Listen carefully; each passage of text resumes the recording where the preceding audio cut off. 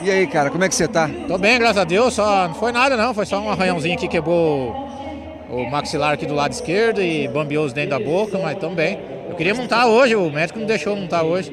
Mas tá bem. Tô bem, tô, fiz os exercícios físicos ali, os testes de equilíbrio, tudo.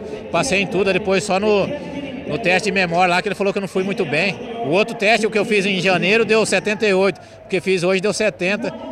E ele falou, não, você não tá bom não, a memória sua não tá boa. Eu falei, como é que não, rapaz? Gozador, era pra ele estar tá montando aí. Tô bom demais, graças a Deus, feliz de não ter sido nada mais grave pela gravidade que foi o acidente ontem, sabe? Depois eu vendo, assistindo o vídeo aí, tô bem demais. Impressionante a plateia, aquele silêncio absoluto, cara. Você viu como é que é? Na hora que acontecem as coisas mesmo, é.